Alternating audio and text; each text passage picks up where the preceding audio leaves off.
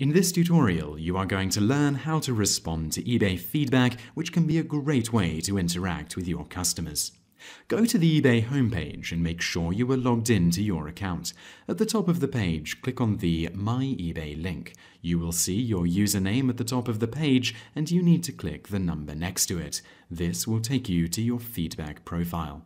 Scroll down the page and you will see feedback that has been left for you. Here you can see we have some negative feedback.